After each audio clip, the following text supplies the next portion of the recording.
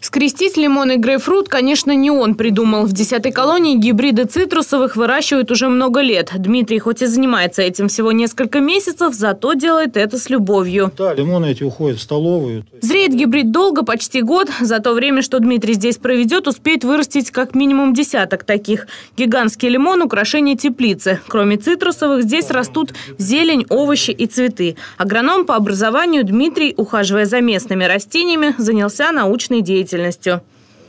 Кандидатскую диссертацию написал, докторскую в этих условиях. Вы сами понимаете, что это такое.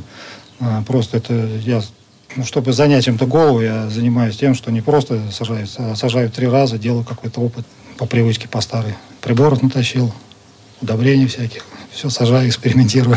Наименьшей массы урана, который а это уже урок физики. В десятке теперь можно не только окончить 12 классов, но и перейти на следующую ступень образования. Диплом бакалавра получают дистанционно на базе современной гуманитарной академии. Роман выбрал профессию психолога. Уверен, знания помогут и здесь, и на свободе. Без образования я не вижу перспективы этого. То, что я оказался в этих местах, как бы еще не говорит о том, что я не смогу занять какой-либо место, которое сможет приносить пользу людям. Вы готовы? А это местная звезда Филипп Еловега. За несколько лет пребывания в Саратовской колонии умудрился вывести местный театр на другой уровень. Сейчас репетирует новую постановку «Остап Бендер» и «Золотая дюжина олимпийских объектов в Сочи».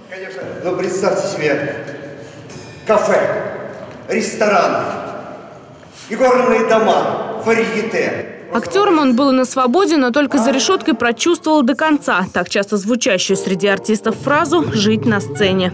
Это та часть энергии, вот внутренней какой-то человеческой энергии, которая позволяет ему двигаться, а, решать что-то, придумывать что-то, жить. От тюрьмы не зарекайся, гласит всем известная поговорка. Но наши герои доказывают другое.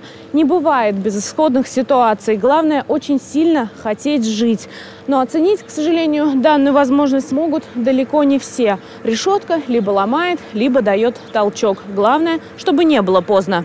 Екатерина Сулейманова, Александр Кравченко. Новости. Телеобъектив.